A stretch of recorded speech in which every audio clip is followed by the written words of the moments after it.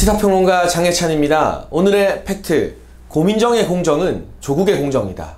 최근 고민정 의원이 본인의 페이스북에 하버드대 마이클 샌델 교수가 쓴 공정이라는 착각, 이 책을 읽고 독후감을 남겼습니다. 사실상 이런 주장을 하고 있습니다. 능력주의에선 승자들이 지나치게 많은 것을 누리게 된다. 그리고 본인이 타고난 재능이나 어떤 집안의 환경 등을 무시한 채 모든 게 다 능력 탓이라고 여기면서 패자들에게는 굴욕과 분노를 안기게 된다. 따라서 민주적인 사회를 위해서는 능력주의를 처음부터 다시 검토해 봐야 된다는 겁니다. 최근 중도 보수 진영에서 화두로 떠오른 그리고 다음 대선의 시대 정신 중 하나가 될 공정이라는 키워드를 능력주의라는 말로 바꿔서 비판하고 있는 겁니다. 하지만 사실관계부터 틀렸다는 점을 지적하지 않을 수 없습니다. 이 공정이라는 착각 책 안에 보게 되면 미국의 입시 비리 사례가 나오고 있는데요. 이건 지난 2009년 윌리엄 싱어 사건을 이야기하는 겁니다. 그 당시에 명문대 입시 브로커가 거액의 돈을 받고 부유층 자제들의 이 자기소개서에 들어가는 스펙과 스토리를 위조해 줬습니다. 그래서 여러 명의 유명한 집안 이 아들, 딸들이 하지도 않은 뭐 자원봉사나 사회문화활동 등을 경력으로 내세워서 아이비리그 같은 명문대에 들어간 게 알려지며 미국 사회가 발칵 뒤집혔었죠. 그런데 떠오르는 사람 없으십니까? 바로 조국 전 장관과 정경심 교수의 표창장 위조, 허위 인턴이 2009년의 윌리엄 싱어 사건과 매우 흡사합니다. 결국 마이클 샌델 교수도 그 책에서 미국판 조국 사태를 비판하고 있었던 셈입니다.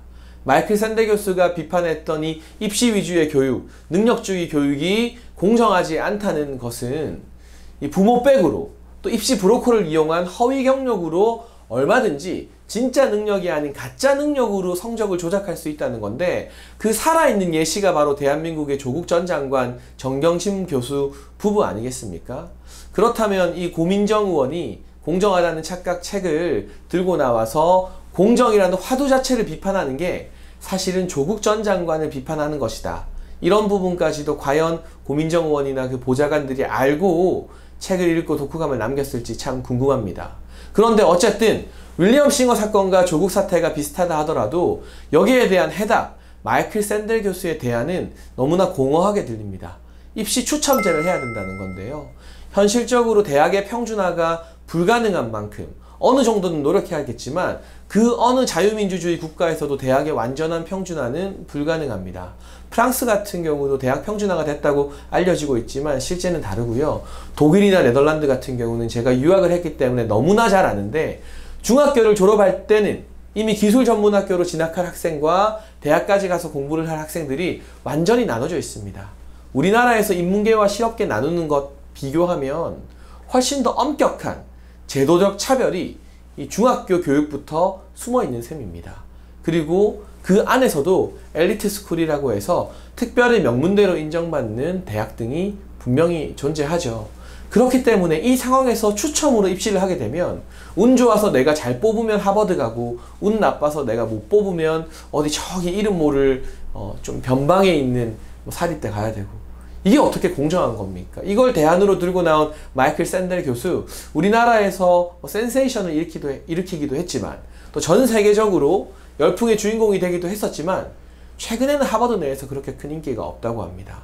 그럼 일단 이 고민정 의원이 든 공정의 예시, 조국 전 장관 아들, 딸이 대학 간 게 공정한 것인가, 이 잘못된 비유였다, 잘못된 예시였다는 점을 차치하고서라도 자꾸 민주당과 이 진보 좌파 진영에서 공정을 능력주의로 취한하는 것에 대한 비판을 해보겠습니다.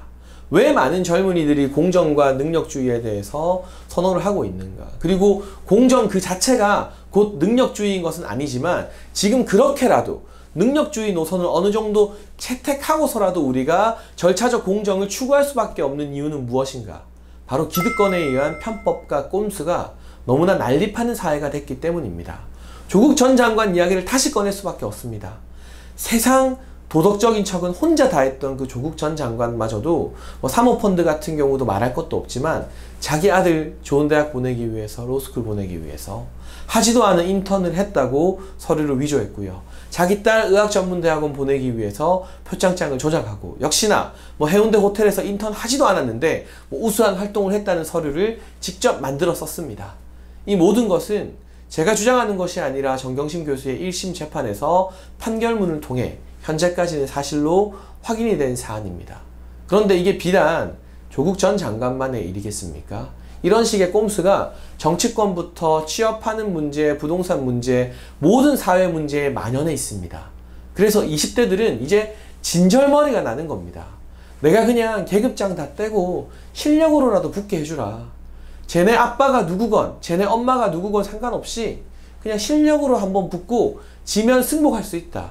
그런데 실력으로 능력으로 붙은 게 아니라 아빠 백 엄마 백그 꼼수와 편법에 내가 밀려서 떨어진 거면 용납이 안 된다. 이게 요즘 2030의 솔직한 마음일 겁니다. 그렇기 때문에 능력주의의 여러 가지 논리를 일부 빌리더라도 그렇게 해서라도 무대의 공정, 절차의 공정을 만들고 싶은 거죠. 저는 최근에 이 90년생 작가가 쓴 90년생 해설서라고 불리는 K를 생각한다라는 책을 참 재밌게 읽었습니다. 임명묵 작가가 94년생인 걸로 알고 있는데요. 그보다 나이가 좀 많았나요? 어쨌든 90년생입니다. 그런데 대한민국 20대와 90년생의 키워드를 불안이라는 한 단어로 해석하더군요. 너무나 불안하기 때문에 기성세대에 비해서 못 사는 최초의 후발주자가 될 세대들이기 때문에 가능하면 예측 가능한 경쟁을 선호한다. 그러니까 학종 같은 경우는 예측이 불가능합니다. 내가 100점인지 95점인지 80점인지 알 수가 없습니다. 내가 한 사회활동이나 자원봉사가 어떻게 이 학종 심사위원들에게 평가될지 모르기 때문에 불안한 겁니다. 그래서 엄마 백, 아빠 백, 조국 전 장관 같은 부모 찬스가 발동하지 않을까 불안에 떨게 되는 거죠.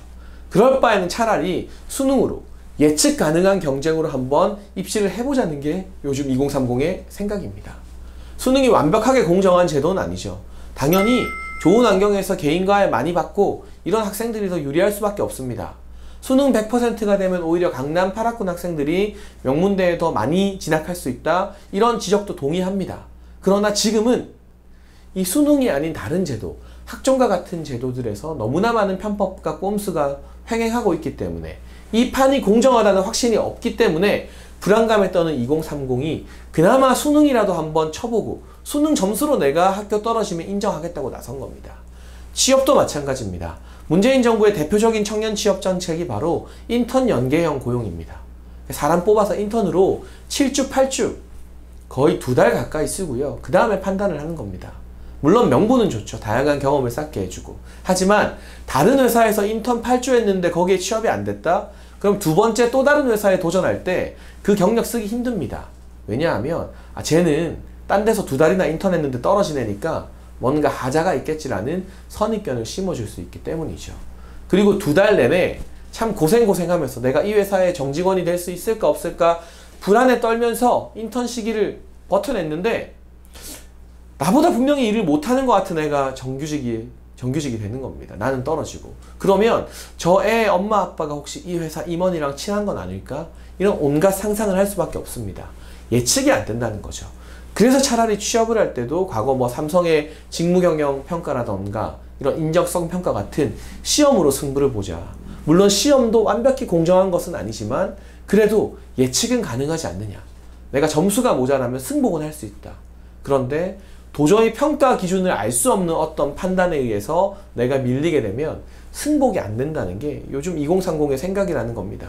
제가 이 임명묵 작가 책을 보면서 아, 왜 2030들이 나도 2030이지만 이토록 능력주의, 성과주의에 집착하는 걸까? 뭔가 변하는 것일까라고 생각을 했는데 알고 보니까 이 사회에 대한 뿌리 깊은 불신과 불안이 그 이유였습니다. 그렇다면 정치인들이라면 지금의 2030을 향해서 능력주의 틀렸어 손가락질하고 가르치고 또다시 훈계하면서 꼰대질하려 들 게 아니라 왜 이 20대와 30대들이 능력주의에 빠져들 수밖에 없는지 그동안 우리가 사회를 너무나 불공정하게 만들었는지에 대해서 반성하고 사과하는 게 순서 아닐까요? 그리고 만약 이 기성세대와 정치권이 지금이라도 정신을 차려서 여러 가지 제도에서 정말 절차적 공정, 꼼수나 편법이 개입할 수 없는 그런 제도를 완비한다면 지금은 능력주의를 찬양하는 20대, 30대도 다양한 여러 가지 제도, 또 약자를 보살피는 제도에도 마음을 활짝 열게 될 겁니다. 하지만 지금 20대, 30대에게 너무나 많은 불안을 선사하고 예측 불가능한 꼼수를 여전히 용인하고 있으며 그 정점인 조국 전 장관을 아직도 옹호하는 세력이 180석을 넘게 가진 집권 여당이기 때문에 범여권이기 때문에 당분간은 이 20대, 30대가 절차적 공정에 집착할 수밖에 없는 게 당연하다고 생각이 됩니다. 오늘의 팩트. 고민정의 공정은 조국의 공정이다. 그렇습니다. 고민정 의원 같은 경우는 본인이 책을 읽고 여기서 다루는 사건이 조국 전 장관 사태와 유사하다는 것조차 인지하지 못하고 그냥 무작정 공정이라는 키워드와 능력주의를 비판하기 위해서 독후감을 올리고 의견을 개진하고 있습니다.